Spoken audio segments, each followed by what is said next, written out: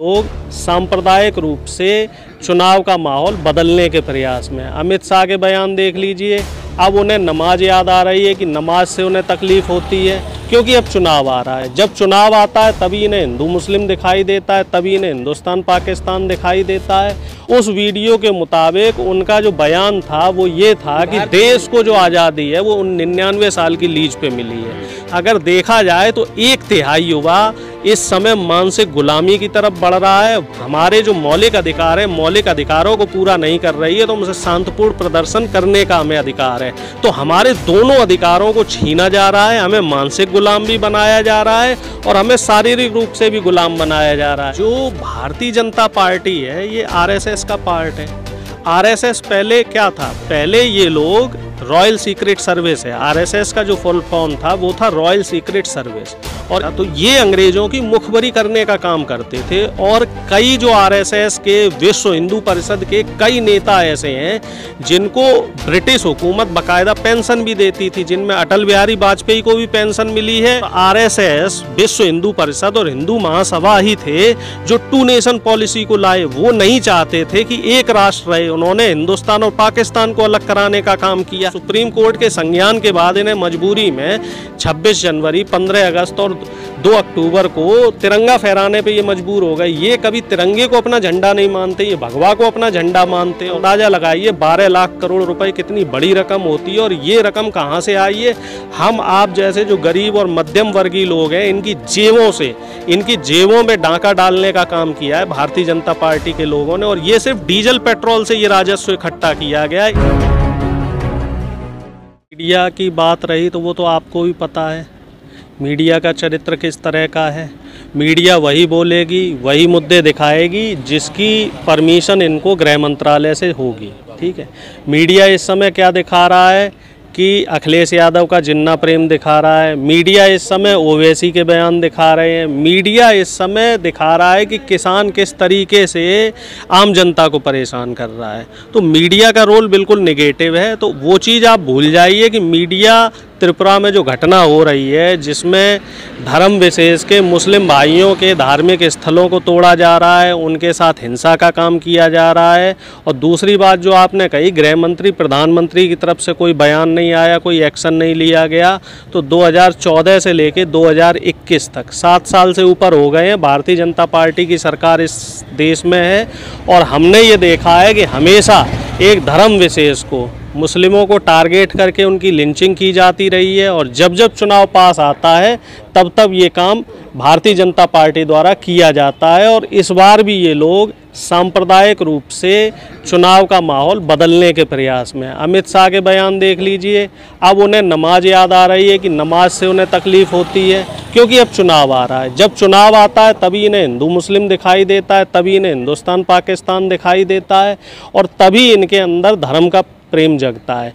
इस समय ये बात नहीं करेंगे बेरोजगारी पे। ये बात नहीं करेंगे बढ़ती हुई महँगाई पे। ये बात नहीं करेंगे बढ़ते हुए भ्रष्टाचार पे। ये इस समय सिर्फ़ हिंदू और मुस्लिम पे ही बात करेंगे, क्योंकि ये चाह रहे हैं कि हम इस बार फिर चुनाव को डाइवर्ट कर दें, हिंदू मुस्लिम पे चुनाव कर लें और फिर से सत्ता में काबिज हो जाएँ। लेकिन इस बार जनता इनकी नहीं सुनने वाली है। जनता ने 2014 में इन्हें वोट दे के देख लिया 2017 में वोट दे के देख लिया और 2019 में वोट दे के देख लिया कि इनके चरित्र किस तरह तरह के हैं और इनकी मंशा किस तरह की है। क्या लगता है देश की जनता भी एक मानसिक गुलाम बन रही है? क्या मानसिक दिवालियापन उसके अंदर आ रहा है क्या? भाई देखिए- जब देश के अंदर अभी पेट्रोल की कीमत लगातार बढ़ रही है कहीं कहीं 120 रुपए लीटर भी हो गया है लेकिन जनता भी सड़क पर उतरने को तैयार नहीं है। इन तमाम मुद्दों पर जनता भी बात करने को तैयार नहीं आखिर वजह क्या दरअसल ऐसा है, देखो, जनता तो बात करने को तैयार है, लेकिन उनसे बात नहीं की जा रही है। मीडिया अपना चरित्र ईमानदारी से नहीं निभा रहा है। मीडिया का जो रोल होता था, वो रोल, जो रोल 2014 से पहले दिखाई देता था, जो मेन स्ट्रीम मीडिया की मैं बात कर रहा हूँ 2014 से पहले जैसे मीडिया जगह जगह जाकर इन मुद्दों को दिखाती थी, उस तरह का काम मीडिया इस समय नहीं कर रही है। इस समय मीडिया मीडिया ड्राइंग रूम में बैठ के काम कर रही है। जनता के मुद्दों को दिखाने में असफल है। और दूसरी बात जो आपने मानसिक गुलामी की कही तो उस पर एक वीडियो भी इस समय वायरल हो रहा है जिसमें भारतीय जनता युवा मोर्चा की एक नेता नेत्री हैं रुचि पाठक। उनका वीडियो भी खूब सुर्खियों का विषय बना हुआ है। उस वीडियो के मुताबिक उनका जो बयान था वो ये था कि देश को जो आज़ादी है वो निन्यानवे साल की लीज पे मिली है।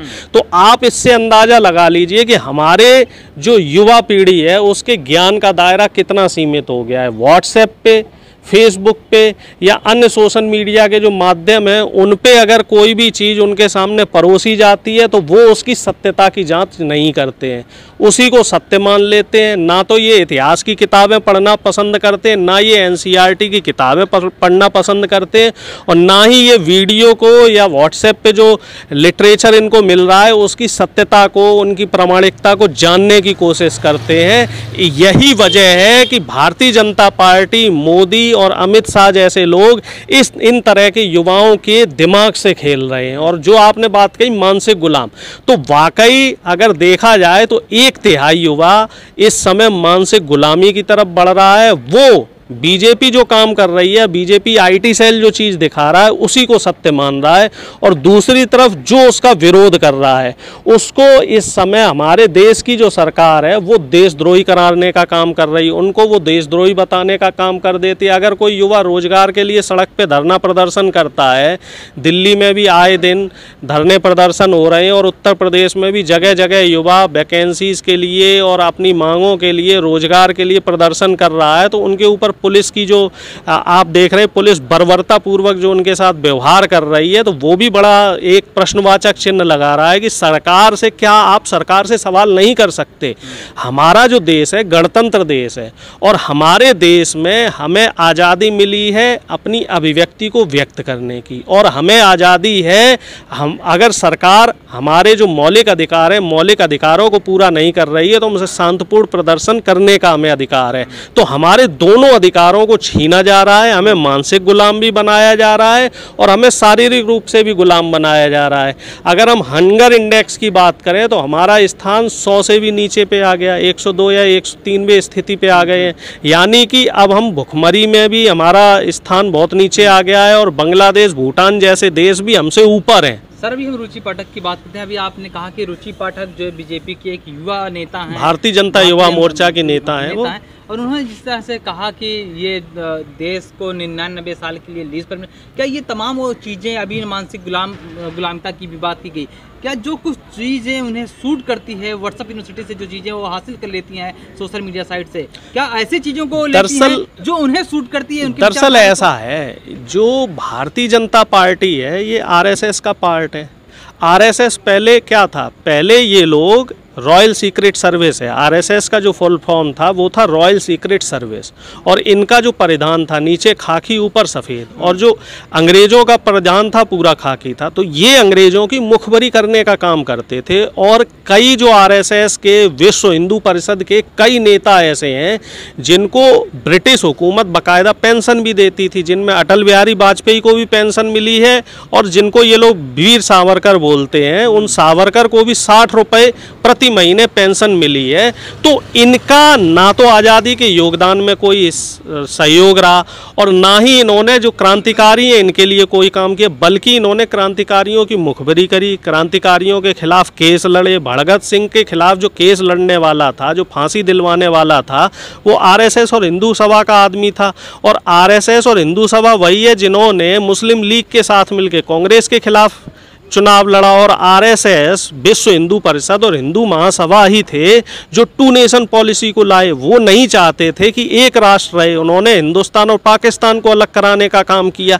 तो इन लोगों का इतिहास में कोई योगदान तो रहा नहीं। इतिहास में इनकी छवि जो है वो नकारात्मक रूप से रही। तो अब ये युवा अगर इनसे सवाल करेगा तो उसके लिए ये लोग क्या कर रहे हैं? बाकायदा अमित शाह का एक वीडियो भी वायरल हुआ है कि आप युवाओं को अपने अनुरूप जिस तरीके से आप कह रहे हैं ना अपने अनुरूप इतिहास को ढाल के बताइए। नेहरू को ये मुसलमान बताने का काम करते कहते नेहरू के जो पूर्वज थे वो बहादुर शाह ज़फ़र के नौकरी करते थे वहाँ से ये लखनऊ आए जबकि नेहरू कश्मीरी ब्राह्मण थे विशुद्ध ब्राह्मण थे। ये ये जो इंदिरा गांधी के पति फिरोज गांधी थे उन्हें मुस्लिम बताने का काम करते जबकि फिरोज गा, फिरोज गांधी पारसी थे। लोगों के दिमाग में बैठ भी गई है। ये चीज़ इसलिए बैठ गई ये देखिए ऐसा है एक पुरानी कहावत है एक गाँव से कोई आदमी जा रहा था बकरी लेके। और किसी ने बोल दिया कि भाई तुम ये गधा कहाँ लेके जा रहे हो? आगे कोई मिला, उसने भी बोल दिया, गधा कहाँ लेके जा रहे हो? अगर सच को सच को दस बार कोई झूठ बोले तो आदमी उसे झूठ ही मान लेता है। तो भारतीय जनता पार्टी क्या काम कर रही है? जो इनका आईटी सेल है आईटी सेल में इस समय पचास हज़ार से ज़्यादा लोग काम कर रहे हैं और इनके एक लाख से ज़्यादा व्हाट्सएप ग्रुप है। और ये उसी झूठ को सौ बार आपके सामने परोसते हैं। अगर आप किसी झूठ को सौ बार किसी के सामने परोसेंगे तो वो आपको सच ही लगने लगेगा। तो इस समय भारतीय जनता पार्टी देश का इतिहास बदलने का काम कर रही है। जो इनकी नेगेटिव छवि है, जो नेगेटिव नरेशन था, उस नेगेटिव नरेशन को पॉजिटिव करने का काम कर रहे हैं। ये आपको कभी नहीं बताएँगे कि 2004 तक ये नागपुरी झंड, जो अपना जो मुख्यालय था, उस पर कभी भी तिरंगा नहीं फहराते थे। वो तो सुप्रीम कोर्ट के संज्ञान के बाद इन्हें मजबूरी में 26 जनवरी 15 अगस्त और 2 अक्टूबर को तिरंगा फहराने पे ये मजबूर हो गए। ये कभी तिरंगे को अपना झंडा नहीं मानते, ये भगवा को अपना झंडा मानते। और दूसरी बात आपने महँगाई की की है कि डीजल, पेट्रोल की जो महँगाई हो रही है तो उसके पीछे युवा अगर वजह जानना चाहे तो युवा को डीजल, पेट्रोल के पीछे वजह जानने के लिए भी ये सही दिशा में ना जाकर ये हिंदू मुस्लिम करना चाह रहे, जबकि इसके पीछे वजह क्या है? वजह ये है कि जो हमारे, हमें सबको मालूम है कि पाँच लाख से ऊपर जिसकी इनकम होती है, उसको अपनी आय में से तीस प्रतिशत टैक्स देना पड़ता है। तो जो पाँच लाख, दस लाख या बीस लाख से जिसकी आय ज़्यादा होती है वो ज़्यादातर व्यापारी वर्ग के लोग हैं और व्यापारी वर्ग के लोगों को तीस परसेंट टैक्स देना होता है। लेकिन बीजेपी सरकार ने क्या काम किया है? पिछले सात सालों में जो इनके व्यापारी दोस्त हैं, लगभग ढाई सौ, तीन सौ से ज़्यादा व्यापारी हैं जिनको 20 से लेके 22 परसेंट तक सब्सिडी दी है टैक्स में। तो इस सब्सिडी देने से क्या हुआ है कि सरकारी खजाना खाली हो गया। अब इस सरकारी खजाने को भरने के लिए इन्होंने डीजल और पेट्रोल में लगातार टैक्स बढ़ाया है, उत्पादन शुल्क बढ़ाया है और पिछले पाँच साल में इसी डीजल पेट्रोल से सरकार की खजाने में बारह लाख करोड़ रुपया इकट्ठा किया जा चुका है। आप अंदाज़ा लगाइए, बारह लाख करोड़ रुपए कितनी बड़ी रकम होती है और ये रकम कहाँ से आई है? हम आप जैसे जो गरीब और मध्यम वर्गीय लोग हैं, इनकी जेबों से इनकी जेबों में डांका डालने का काम किया है भारतीय जनता पार्टी के लोगों ने और ये सिर्फ़ डीजल पेट्रोल से ये राजस्व इकट्ठा किया गया है। इसके अलावा आप देखो, घरेलू गैस देख लो कॉमर्शियल गैस देख लो, सरसों का तेल रिफाइंड दालें और अन्य जो ज़रूरत का सामान है, इस समय आप बाज़ार में जाइए, कोई भी सब्ज़ी आपको पचास साठ रुपये से कम नहीं मिलेगी। कोई भी फल आपको सौ डेढ़ सौ रुपये से कम का नहीं मिलेगा। तो ये सारा जो महँगाई का बोझ है, ये मध्यम वर्गीय और निम्न वर्गीय लोगों पर पड़ रहा है। इससे इनकी जो आर्थिक स्थिति है वो खराब होती जा